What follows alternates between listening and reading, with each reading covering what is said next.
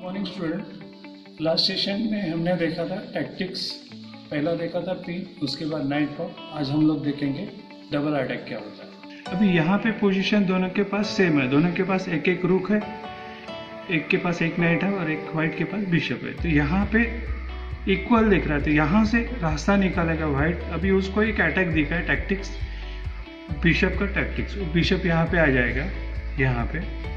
और ये बिशप से रुक भी कैप्चर कर सकते हैं और नाइट भी कैप्चर कर सकते हैं। तो यहाँ पे उसको दोनों में से एटलीस्ट वो रुक बचा लेगा शायद और उसके बाद उसको नाइट मिल जाएगा। अगर ये यहाँ पे भी खेल लेता है तो ये बिशप कैप्चर नाइट और उसे एक पीस का फ़ायदा होगा अभी और दूसरा देखते हैं। अभी यहाँ देखते हैं ब्लैक के पास बिशप है और वाइट के पास एक रुक है।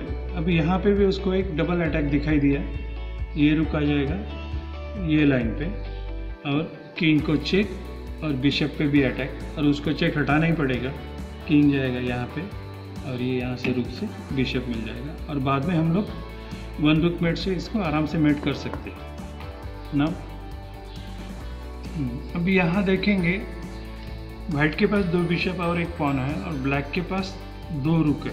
अभी यहाँ पे देखेंगे वाइट के पास दो बिशप है, एक पॉन है और ब्लैक के पास टू रुक है। यहाँ पे उसको डबल अटैक दिखाई दिया बिशप से। एक डायगोनल में दोनों रुक और वो दोनों में से एक को कैप्चर कर लेगा। राइट अगर ये हटाता है, या अगर ये हटाता है तो ये मिलेगा, और वो हटाता है तो ये रुक मिल जाएगा। ओके ये चीज़ें आपको आपके पेरेंट्स के साथ बैठ के या अपने फ्रेंड के साथ बैठ के प्रैक्टिस करना है। इस तरह से आपका डबल अटैक भी अच्छा बन जाएगा।